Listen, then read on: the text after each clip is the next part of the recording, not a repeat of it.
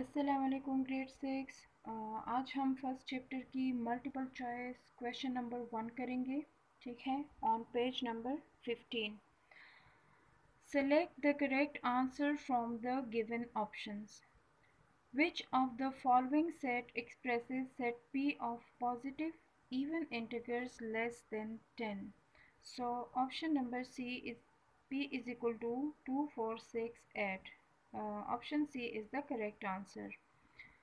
How many subset does the power set of an empty set have? So empty set का एक ही power set होता है और वो है one. Option number D is the correct answer. Which of the following sets A and B are equal? ये uh, given है ठीक है two sets given है so इसमें जो है option number D A is equal to ten fifteen twenty and B is equal to twenty fifteen ten these two sets are equal set option D is the correct answer let set Q is equal to fruits which grow on trees ठीक है? ये option given है. ठीक है? Which of the following is correct A is a proper subset of Q B is proper subset of Q, C is proper subset of Q या D is proper subset of Q. So option number B, B is proper subset of Q. देखिए mangoes, pear, guava. These are um, fruits which grow on trees. So option number B is the correct answer. 5 number. X is equal to items which can be put in a geometry box. which of the following set is not a subset of X ये एक set है given है X ठीक है?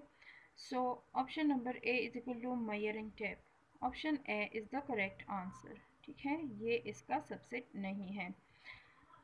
The set of whole numbers is set of whole numbers so it is infinite ठीक है? Option number B is the correct answer A is equal to 5, 10, 15, 20, 25 and so on and b is equal to 1, 2, 3, 4, 5, 6, 7 and so on.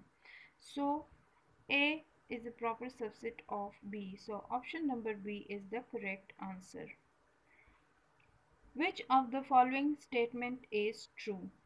So uh, lily belongs to p is equal to flowers in the pond. Okay, option A is the correct answer. क्योंकि ना लीली जो है दरख्तों पर उगते हैं ना plants पे जो है वो उगते हैं और ना ही थॉर्न्स ठीक है? So option number A is the correct answer अच्छा इसके अलावा नेक्स्ट पेज पर आप देखें test paper one on page number sixteen and seventeen ये आपका टेस्ट पेपर है, इसको आप खुद सॉल्व करें।